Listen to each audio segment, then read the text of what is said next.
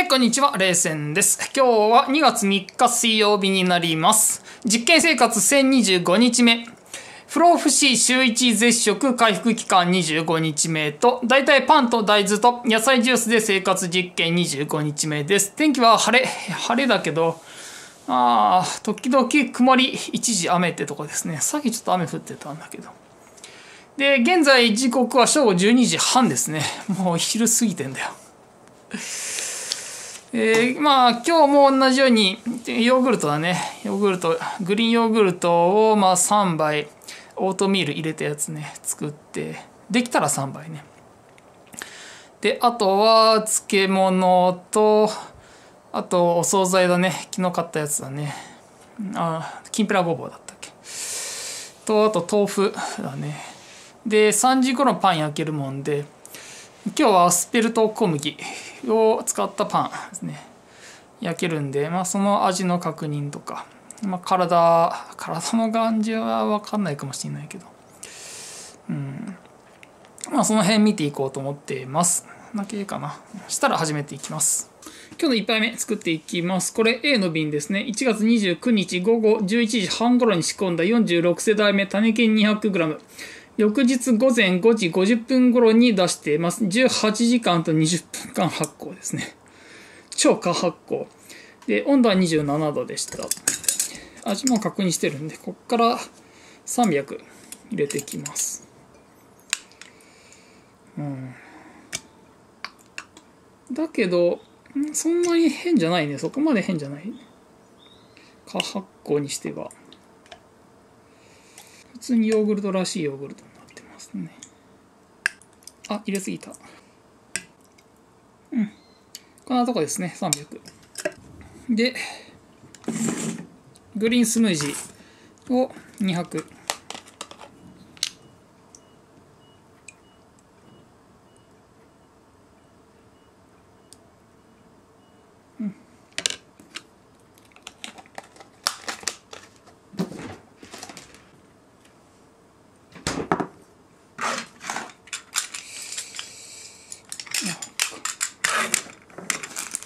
あときな粉スタイル1のきな粉大さじ1杯。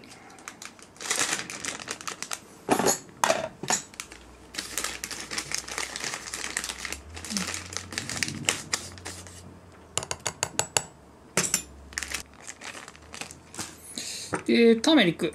まあこれ中入ってるのちょっと全部出しちゃうんで。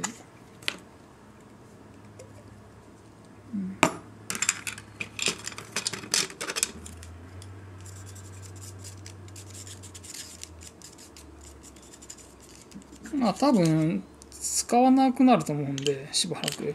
この容器この瓶はね。まあ中きれいにしちゃおうかな。と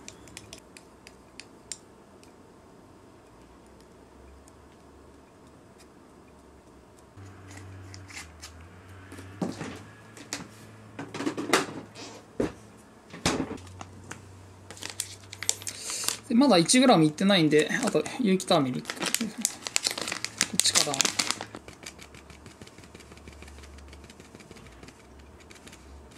うんまあこんなもんです、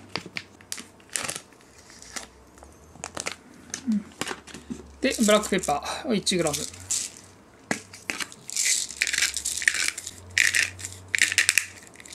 こんなもんですね。あとオートミールを 30g まあ大体で。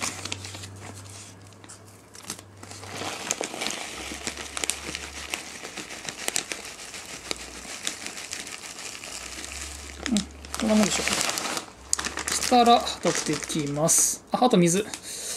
水。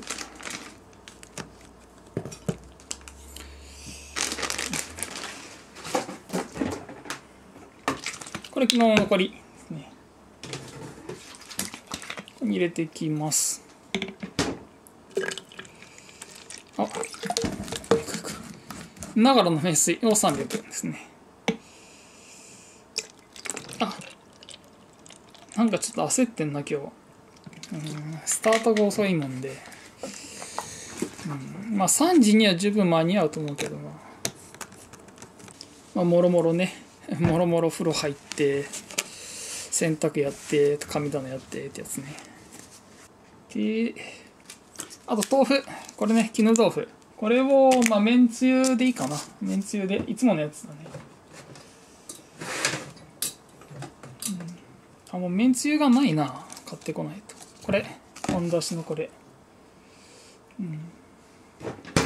で漬物漬物まあこれのね一夜漬けのこれ。とあとうちの母が漬けたやつが、うん、あるもんでそれももらおうかなと思ってるとこです。そしたら取ってきます。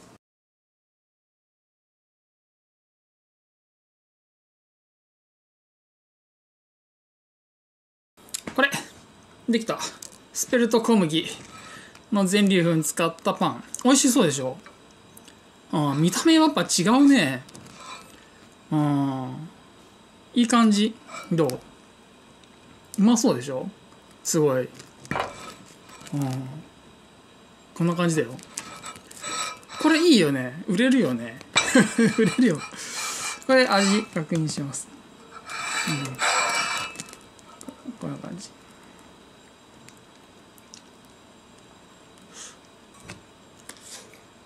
うん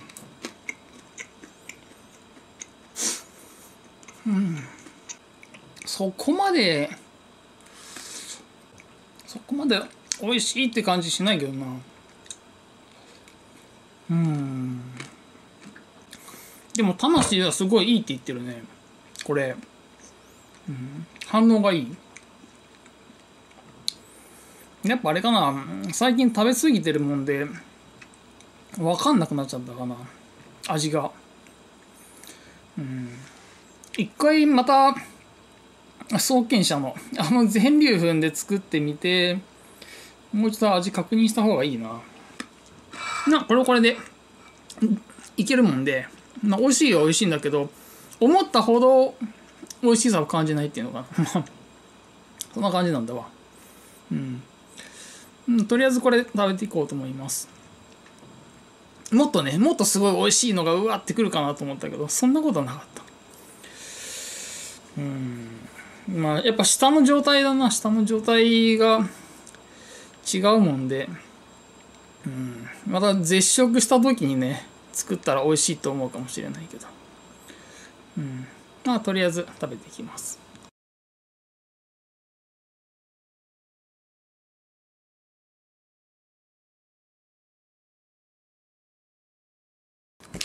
これ取っていきます。きんぴらごぼうですね。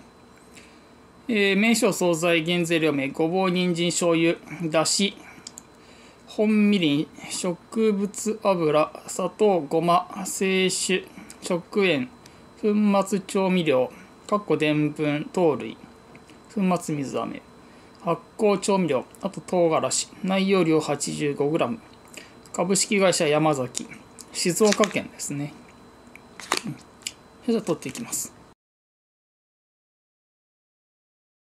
編集終わったんで、ワイン取っていきます。アルパカ。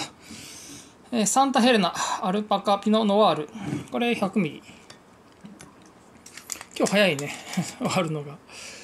うん、7時半だもんな。今、レンダリング中ですね。1時間かかんないと思うんで。8時ぐらい、8時過ぎだな。あ、8時半ぐらいにはアップできるんじゃないかな。これとあと水。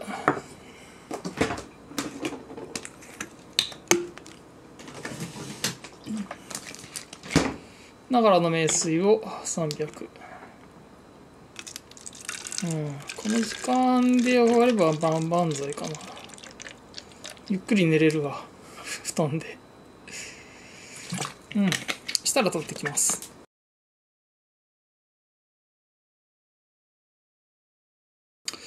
まあお腹いっぱいなんだけどね。喉がよく乾くんでね。ワイン飲むと。これかごめ野菜生活100オリジナル。これ500入れていきます。水ももうなくなっちゃったんだけど、まあ、代わりにこっちで。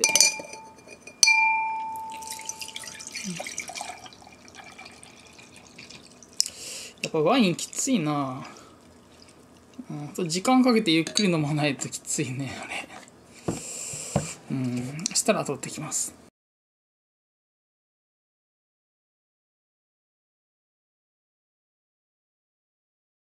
次入れていきます。オリジナル。おお500残り全ですね。まあお腹いっぱいなんだけどね。あともう寝ないともう11時なんでね。うん水野南北さんの早寝早起きが全然できてないっていうね。いかんね、うん、したら取っていきます。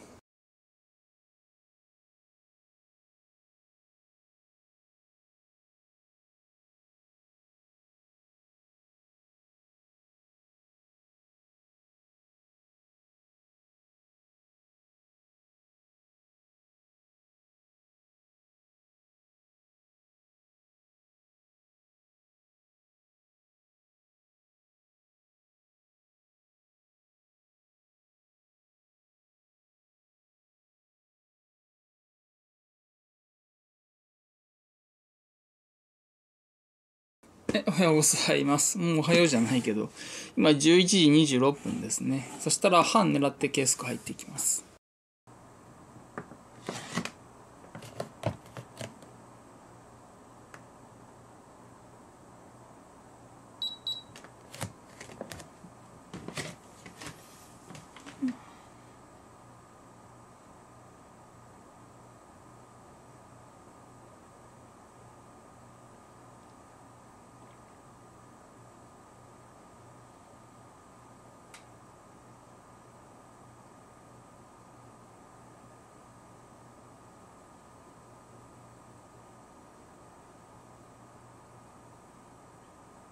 ベスト測っていきます。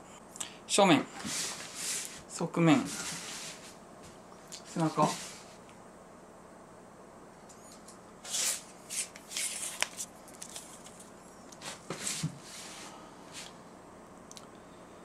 えー、70ですね。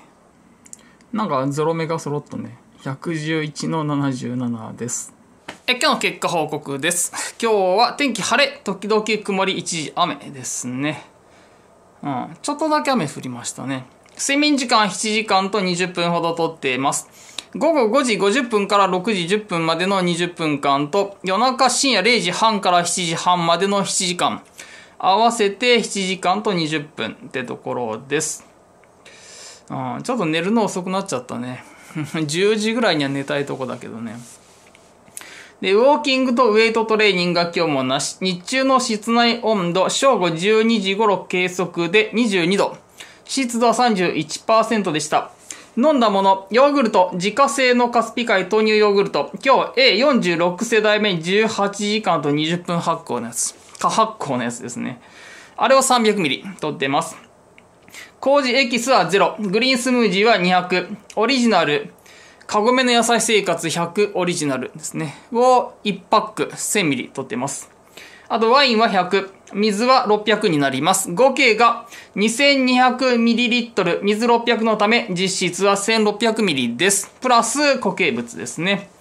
で、固形物の方はパン。自家製の酸菌酵素パンを1斤と、あと漬物1種類。あのー、この間買ってきた半額のやつだね。なんだっけ？一夜漬けのやつ白菜のやつだね。名前忘れちゃったけど、うん、あれ結局ねあの一袋っていうのかな。一袋丸々全部食べちゃったね。で絹豆腐 280g ときんぴらごぼう 85g 取ってます。えきな粉大さじ1杯、ターメリック 1g、ブラックペッパー 1g、黒糖0、オートミールは 30g、ピーナッツバターは適当です。尿回数5回出てて、濃さ薄め、量は平均的な量でした。大便今日1回出てます。午後6時20分頃、色褐色。中太バナナ状20センチ、プラス細バナナ状20センチ。若干固めで匂いはなしです。うん。今日のはね、なんかいつもと違うんだよ。便が。なんか少し硬かったんだよ。あの、絶食やってる時の初期の状態みたいな。そんな感じの便だったんだわ。あれって感じだね。うん、よくわかんないけどね。昨日が、あれかな、ヨーグルトが少ない。うん。でかなヨーグルト少ないもんでオートミールも少ないじゃんそれでかなうん超これ1取ったからちょっとよくわかんないけどね匂いはなかったまあ硬い便の時って匂いは少ないんだけどねでおならたまにありで匂いはなしです今日の計測時刻は午前11時半頃ですね。昨日よりも10分ほど遅いです。まあ、ほぼほぼ同じ時間に測ってるって見方でいいでしょう。もう昼だけどね。で、体重60.85キロ。昨日に比べて0.3キロの増加です。なので、ちょっと体重増えてます。BMI19.2 でプラス0.1。体脂肪率は13.7%で0.6%の減少ですね。体重ちょっと増えて体脂肪率減ってるって感じですね。やっぱあれかな？オートミール少ないもんで体脂肪率減ったんか？昨日も減ってるもんな。昨日もオートミール少ないんだよ。30しか取ってない。今日もオートミール30しか取ってなくて、体脂肪率減ってる。どんどん減ってるね。やっぱオートミールだな、体脂肪率。うん。な んで、オートミール取ると体脂肪率上がるよっていう話だね。うん。そういうことだ。この辺間違いないな、なんか。うん。女性は気をつけた方がいいね、うん、太りたくないんなら体脂肪率上げたくないんならオートミールはちょっと取らない方がいいかもしれない逆に痩せすぎな人とかはオートミール取ると体脂肪率上がっていくからまあ絶食にはやっぱ使えるかもしれないねオートミールね、うん、なんかいいかも組み合わせとしていいかもしれないってとこです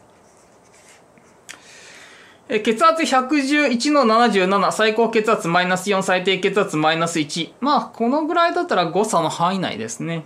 まあ、変わってないって見方でいいでしょう。脈拍66でマイナス1。ウエスト70センチで5ミリの増加です。まあ、5ミリぐらいは、まあ今日は0.3キロ増えてるからね。5ミリ増加妥当でしょう。今日の気づき。うん。あの、きんぴらごぼうに関してはね、こないだの150円で、お勤め品で150円では高いよね。で、ちょっとしか入ってなかったよね。50g ぐらいしか入ってなかったよね、あれ。うん、あれで全然食べ足りないって思ってて、もっとね、もっと食べたいなって思ってたら叶ったね。今回100円で 85g だから。うん。この間150円でね 50g ぐらいだった。58g だったっけな。うん。増えたね、うん、で今日のはね満足。あのぐらいの量あったら満足だわ。あれで100円ならいいって感じだねうん叶った やっぱ願えば叶うってね あそんな感じだねうん。あとあの、スペルト小麦のパン作ってみたけどね、見た目はね、すごくいい感じなんだよ。うまそうだよ、あれ。すごくいい感じにできたなって。なんだけど、味がね、なんか思ってたほど良くなかったな味は。なんかそう大したことないって感じだった。うん。何もつけずにそのまま食べれるかって言われた時に、ちょっとこれだときついかなって感じだったな。うん。あの、創建者の全粒粉で作ったパンだね。あれは何もつけずにもういくらでもいけるって感じだったけどもう全部いけるって感じだったけど、うん、今回のスペルト小麦のやつはちょっと厳しいなあんまなしじゃなって感じだね。ピーナッツバターなしだとちょっと厳しいっていうとこでした。味的にいまいちだけど魂はねいいって言うんだわ。魂はこのパンはいいって言うんだ、反応がねまあまあ良かったね、うん、ああいいんだ。だけどなこの値段でこの味かみたいな感じだね。うん。美味しかったらねおすっごいうまいって感じだったらまああの値段でもうんまあ魂もいいって言ってるしみたいな感じで、うん、買い続けるかもしれないんだけど、うん、まあレギュラー入りするかもしれないんだけどこの味だとちょっときついかなって感じだったな、うん、体にはいいかもしれないけどさ。うん結果ね一番今まで試した中で良かったのは創建者だな。創建者のあの全粒粉。一番最初に使ったやつだねあれ。あの 300g のなん 300g で380円ぐらいのやつだな全粒粉。あれ国産のやつだったかな、うん、あれあれが一番いいな味。うんダントツだったね。ただね口下の状態だね。下の状態もあのー、やっぱねその深い味が分かる時と分からない時があって絶食まあ半日断食ぐらいしてた時はね 分かるんだけどあんまり食べてるとね分かんなくなっちゃうんだよ。だ本当は美味しいかもしれないんだけど今舌がバカになってるもんで分かんないみたいな。最近一杯食べてるもんでこれで分かんなくなっちゃったっていうね。その可能性もあるんだよね。絶食してからあのスペルト小麦のパン焼いて食べたらうまいってなるかもしれないんだわ、うん、ただ現状ね一応まああの今まで試した感じは 試した中では、うん、あの創建者のやつねあれが一番だな。値段的にまあ 300g で380円でしょう。今回のやつ 500g で900円ぐらいだからね。うん。やっぱあの創建者の方がちょっと安いんだわ。安くて味も美味しい。その代わりスペルト小麦じゃないもんで腸に対する、まあ、あの影響っていうのかな。健康具合から言ったらスペルト小麦に劣るかもしれないけど。うん。その品種改良とかさ遺伝子組み換えとかがどのぐらいされてるかが分かんないから創建者のやつはさ。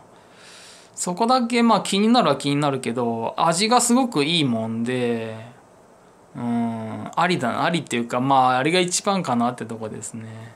今んとこ。うん。やっぱ食べた時に美味しいと思えないときついよなっていうのがある。うん、ただ魂はな今回のスペルト小麦いいって言うんだよ、うん、あのパンねいいって言うんだわ。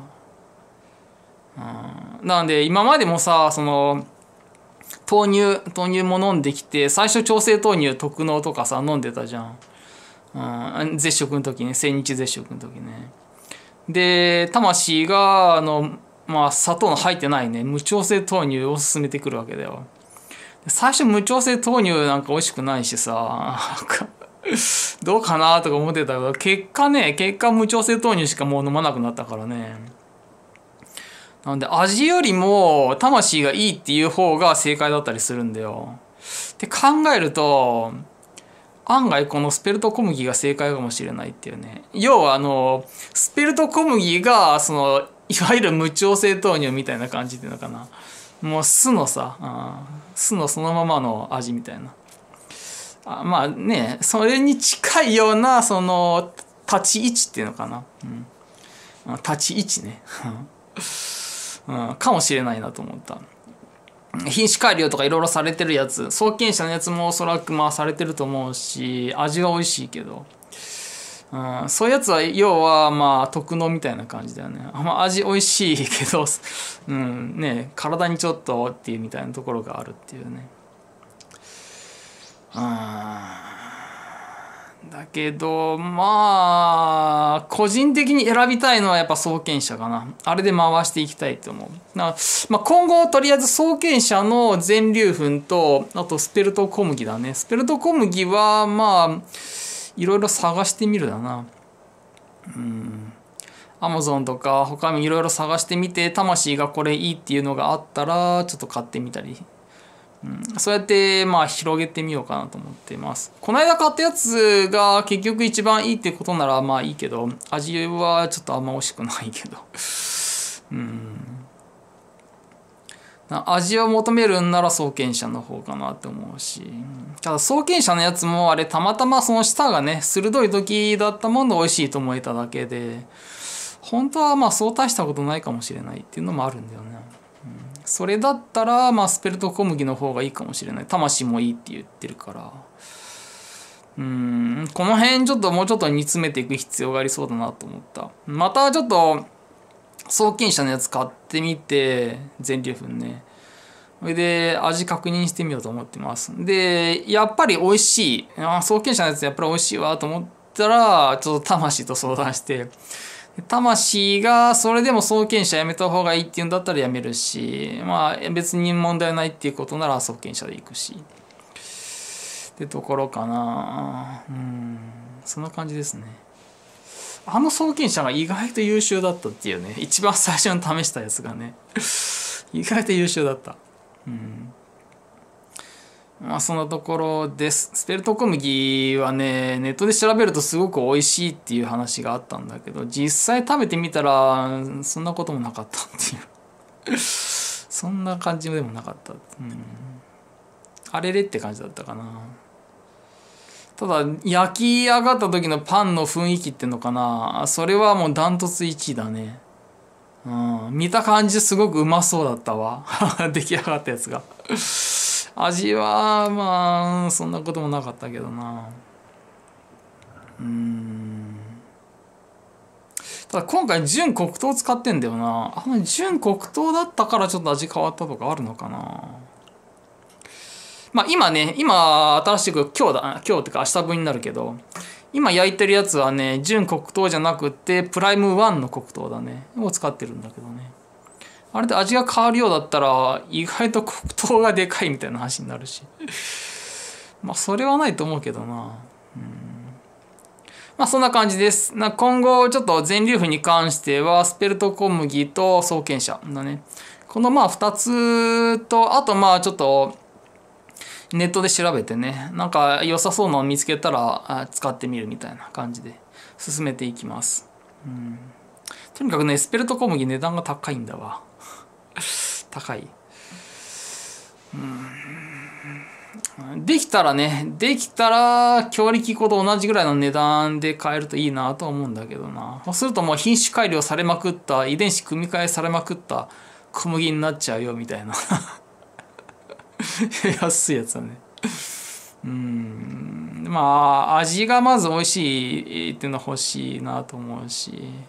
ただやっぱりでも一番は体よね体にけ、まあ、いいっていうか腸にいいっていうか健康にいいっていうか、まあ、ここは外せない。一番まあ重視するのはそこだと思うし味よりもね。ついで味だな、うん、まあ味はピーナッツバター取ればごまかせるは ごまかせるんでね。うん。まあそんな感じです。うん。もうここでスペルト小麦が美味しかったらねもう一択もう決まったって感じだったんだけどな、もう全粒粉はこれだっていう感じで決まったと思ったんだけど。いまいちだったよな味が。ちょっと。うん。決定打にかけるってやつだね。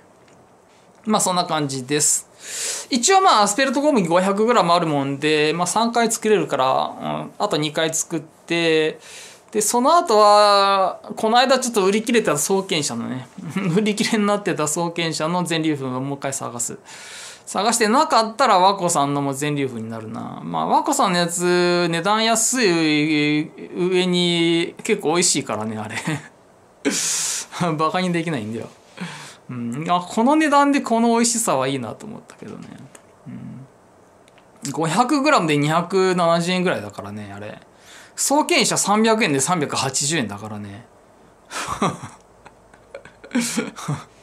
半分ちょっとなのに値段超えてるんだようん。でスペルト小麦は 500g で900円だからさ。もっと上がるんだよね。うん。値段と味を加味するんだったら和子さんのやつがかなりいい感じなんだわ。ただ魂はいやあんま良くないっていう。うん。まあそんなところです。で創建者のやつはねいいって言うんだわ。あれはいいっていう、うん、でスペルト小麦もいいって言うんだよね。うん。まあ、あそんなとこです。で、明日も一応同じようにやっていく予定です。あの、この間買った生揚げだね、生揚げがあるもんで、あと豆腐、湯葉の鍋豆腐ってやつだね。あれがあるもんで、あれを明日は取って、で、うちの母の自家製の漬物だね、食べて、あとはヨーグルトだね。ヨーグルトを、まあ、ある程度ちょっと使いたいっていうのあるんで、うん、ヨーグルトまあできたら23倍はまあ取りたいなと思ってるところです、うん、でパンは4時ぐらいに焼けるんで。もう夕方だよ。夕方なんでね体重体脂肪率増えちゃうかもな。ってとこですね、うん、あとはまあなるべく早い段階でちょっと編集作業やって。編集終わってからワインは飲むっていう形。ワインがね正直しんどい。うんしんどいねあれ。うん。ビオニエ白うんだったらまだいいけどあの赤ワインはきついわ。あれちょっと負担になってんね。早いとこからにしちゃいたいってとこです。うん。まあそんな感じかな。今日布団で寝れたけど、うん、まあそう何もないね、うん、久しぶりだね布団で寝るの。こんな感じですね。まあ、とりあえず回復期間なんで、まあ、体重上げることをメインで。であとまあまだ寒いからね。寒いから無理して運動もやらなくてもいいかな。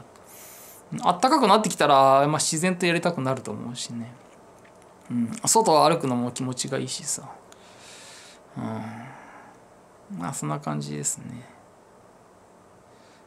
まあやりたい時に体が心がね心がやりたくなった時にやるっていう形で とりあえず行こうと思ってます。無理しないでね。うん。まあそんなとこです、うん。